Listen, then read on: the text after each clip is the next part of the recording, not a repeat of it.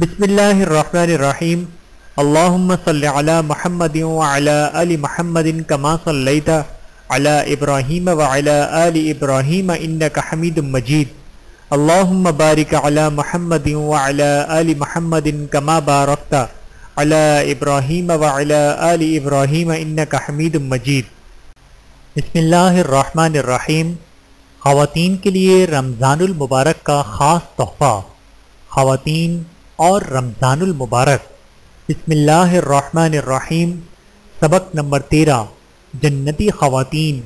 رسول اللہ صلی اللہ علیہ وآلہ وسلم کا ارشاد ہے، اور تمہاری وہ عورتیں جنتی ہیں جو اپنے خاوندوں سے زیادہ محبت کرنے والی، زیادہ بچے کرنے والی، اور بار بار اپنے شوہر کی طرف لوٹنے والی ہوں، اور جب کبھی اس کا شوہر اس سے ناراض ہو جائے تو وہ جنتی عورت اس کے پاس آ کر اپنا ہاتھ اس کے ہاتھ میں رکھ دے اور کہے کہ جب تک تم خوش نہیں ہو جاتے میں سو نہیں سکتی۔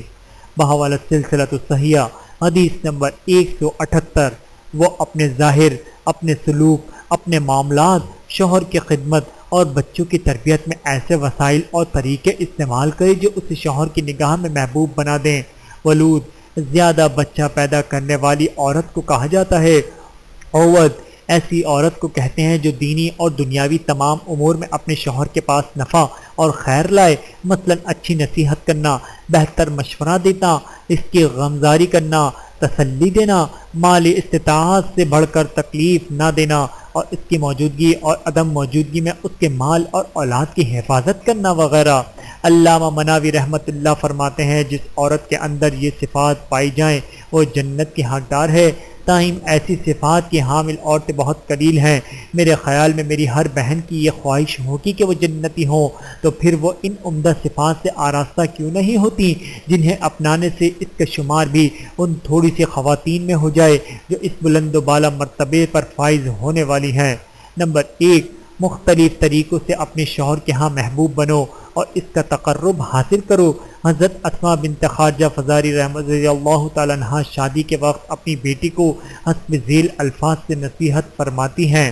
تم اب تک جس عیش و عشرت میں پلی ہو، اس کو چھوڑ کر ایسے بستر پر جا رہی ہو جس سے تم نا آشنا ہو اور ایسے ساتھی کے پاس جا رہی ہو جس سے تم مانوس نہیں ہو۔ تم اس کے لیے زمین بن جانا۔ وہ تمہارے لیے آسمان بن جائے گا۔ تم اس کے لیے بستر بن جانا، وہ تمہاری لیے بلند و بالا عمارت بن جائے گا۔ تم اس کے لیے لونڈی بن جانا، وہ تمہارے لیے غلام بن جائے گا۔ تم اس سے بہت زیادہ مطالبات نہ کرنا، ورنہ وہ تمہیں ناپسند کرنے لگے گا۔ تم اس سے دور مت رہنا، ورنہ وہ تمہیں بھول جائے گا۔ اگر وہ تمہارے قریب آئے تو تم اس کے قریب آ جانا، اور اگر وہ تم سے دور ہو جائے تو تم بھی دور ہو جانا۔ تم اس کی ناک اس کے کان، اس کی آنکھ کی حفاظت کرنا یعنی وہ تم سے صرف خوشبو سونگے، صرف اچھی بات سنے اور صرف اچھائی دیکھے۔ نمبر دو، خاندانی منصوبہ بندی کرنے والوں کی باتیں مت قبول کرو۔ کیونکہ یہ چیز اللہ تعالیٰ کی شریعت اور نبی کریم صلی اللہ علیہ وآلہ وسلم کے ارشادات کے خلاف ہے اور اس لیے بھی کہ رسول اللہ صلی اللہ علیہ وآلہ وسلم نے نسل بڑھانے کی ترغیب دی ہے تاکہ آپ کی امت کے افراد کی تعداد زیادہ ہو اور بچوں کو بچپن ہی سے اسلامی تربیت دینے کا اہتمام کرو تاکہ وہ مستقبل میں اسلام کے باغیرت سپوت بنے۔ نمبر تین، اپنے شوہر کی تمام امور میں معاونت کرو۔ اگر وہ کچھ بھول جائیں تو اسے یاد دلا دو۔ اگر وہ کسی امر سے ناواقف ہوں تو اسے بتلا دو۔ اور اگر وہ کسی چیز سے غافل ہوں تو اسے متنبی کر دو۔ کیونکہ بہت سی ایسی خواتین ہیں جو اپنے شوہروں کے لیے حق اور سیدھے راستے پر چلنے کا سبب ہیں۔ نمبر چار کوئی بھی گھر خاون اور بیوی کے باہمی اختلافات اور الجھن سے خالی نہیں۔ اس لیے آپ کو وہ پانی بننا چاہیے جو چھوٹی سی چنگاری کو بجھا دے تاکہ وہ چنگاری بڑی ہو کر خانہ اور اہل خانہ کو جلا کر خاکستر نہ کر دے، کیونکہ چھوٹی چھوٹی چنگاریوں ہی سے آگ بنتی ہے۔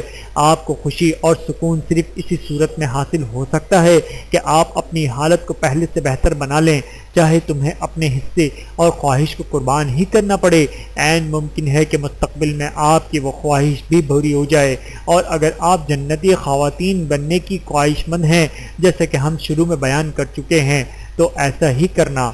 اللہ تعالی ہم سب کو عمل کرنے کی توفیق عطا فرمائے۔ آمین۔ ثم آمین۔ ویڈیو دیکھنے کا بہت شکریہ۔ مزید ویڈیوز دیکھنے کے لیے ہمارے چینل کو سبسکرائب کریں۔ اگر ویڈیو پسند آئے تو لائک کریں۔ اچھی بات کو دوسروں تک پہنچانا صدقہ جاریہ ہے۔ جزاکم اللہ خیرن کثیر اپنا اور اپنے پیاروں کا بہت زیادہ خیال رکھیے گا اور مجھے دعاؤں میں یاد رکھیے گا۔